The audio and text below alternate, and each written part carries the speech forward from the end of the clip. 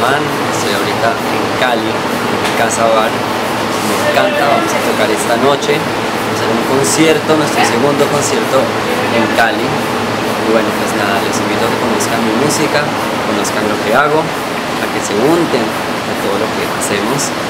Y un abrazo grande a todos. Perfecto.